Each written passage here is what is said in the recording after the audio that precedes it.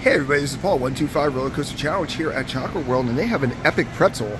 And when I talk about an epic pretzel, this thing is huge. This is not zooming in here. And it comes with three different cheeses.